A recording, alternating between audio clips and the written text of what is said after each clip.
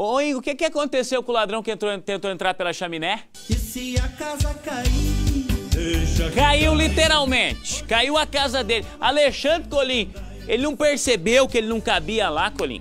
Síndrome de Papai Noel, Juliano. Tá vendo ali, ó? Olha o jeito que ele foi encontrado.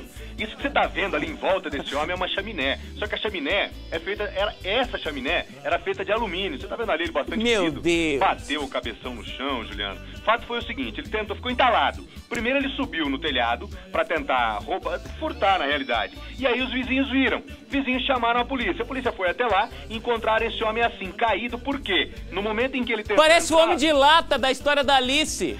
Exatamente, exatamente. No momento em que ele tentou entrar ali, Juliano, ficou entalado. E aí, a chaminé de alumínio desabou. E aí os bombeiros, pra tirar o homem daí, tiveram que usar o alicate hidráulico, que normalmente é usado em acidentes, enfim, pra cortar a lataria dos carros. Dá uma olhada no estado ali do ladrão, Juliano.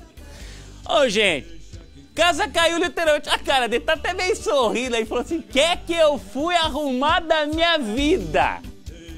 Não, gente, não, não tem jeito, né? Cada história. Você só vê aqui no balanço 7 e 13. Por isso você tem que acordar junto com a gente. É por isso, não. Bota de novo essa imagem aí, gente. Dá pra acreditar nisso.